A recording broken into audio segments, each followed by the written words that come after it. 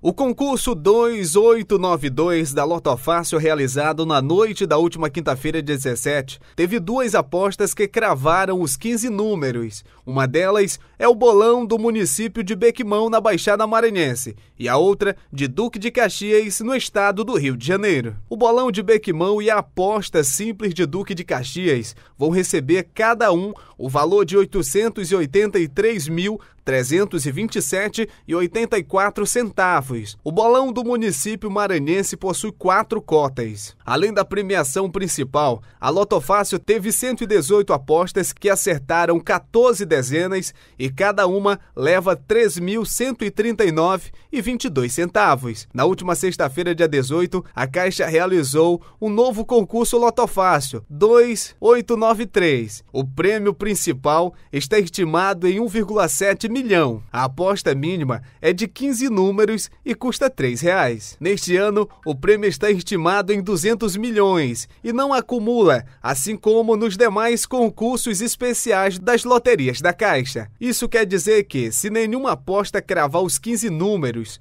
o prêmio será dividido entre os acertadores de 14 números e assim por diante, conforme a regra.